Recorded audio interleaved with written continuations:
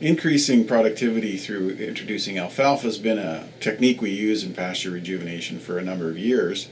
And one of the things that producers have been asking us, you know, with all these new zero-till drills that are available uh, commonly for seeding annual crops, and some of them are getting pretty sophisticated, uh, could we possibly use zero-till equipment to seed alfalfa into grass pastures to rejuvenate them?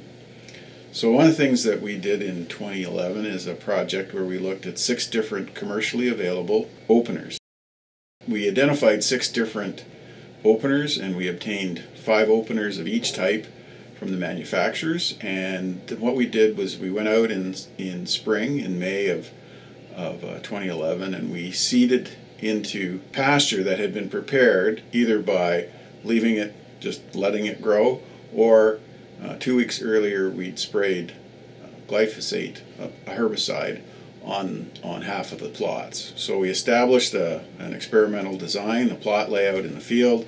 We went in with, with the PAMI plot seeder, and the PAMI plot seeder was, was equipped with one set of knives, and then we, we had seed all four replicates of that particular uh, opener with and without the herbicide pre-treatment. Then we manually just uninstalled those openers, took them off, put on uh, the next opener, and, and repeated the process until we had seeded all six treatments with the six different openers. Uh, we also used a control plot where we took one of the openers and we seeded without any alfalfa seed in the drill. So we had a disturbed control plot and then we had an undisturbed control plot. So we did that late May of 2011 and of course, 2011 was a little bit like 2010, where we had fairly good moisture, so there was good grass production. We did get very good control of the grass with glyphosate.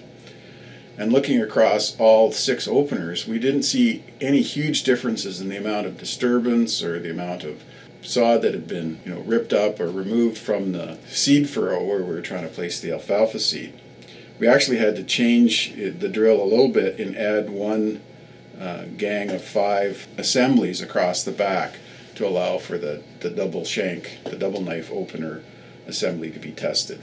So then in July, after we'd allowed for some growth and we had some pretty good rainfalls in June, in July we went out and we did three one meter counts on one meter of row length, counted the number of seedlings.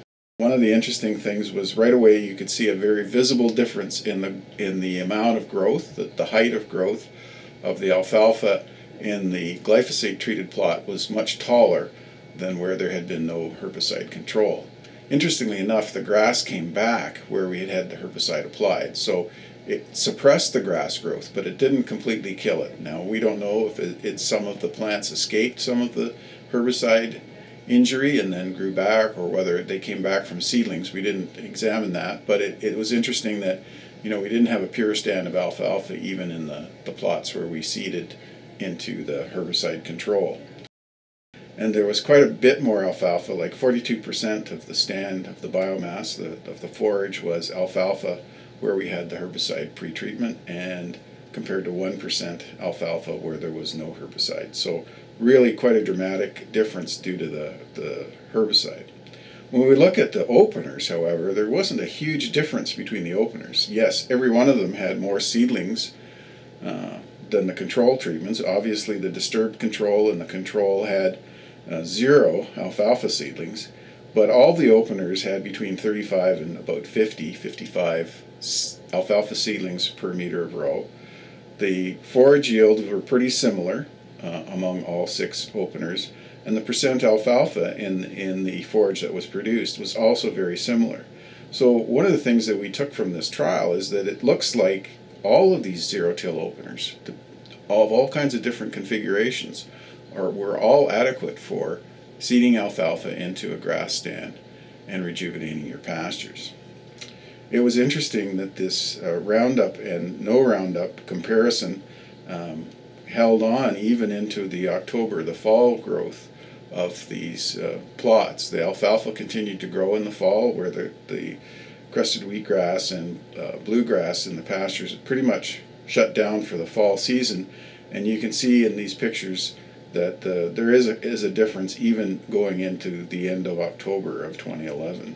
So our conclusions from this project was that all of these common, commonly available zero-till openers for annual crops worked well for seeding alfalfa into grass sod and doing pasture rejuvenation. The alfalfa growth was improved significantly with having the herbicide pretreatment there because it reduced the grass competition and allowed the alfalfa to grow. Uh, you know, grass competition has been shown quite to quite dramatically affect lots of different uh, forage legumes. So it's not just an alfalfa thing. But it is interesting to note that, that uh, we can do this with uh, very effectively with even a one liter rate of this glyphosate treatment in spring. However, I would caution producers that, that hear this report that this is only based on one year, 2011 results at uh, Termuende Research Ranch at Lanigan, Saskatchewan. So one year and one site. We really need to do more uh, research to confirm these kind of results on different soil types under different climatic conditions in different parts of the province. So uh, while it's very good preliminary information, uh, we do feel that more work needs to be done. And in conclusion, I just would like to thank the Agriculture Development Fund of Saskatchewan for funding this research project. It's myself and Nathan Gregg from PAMI were the principal investigators on this project, and we really appreciate their funding support.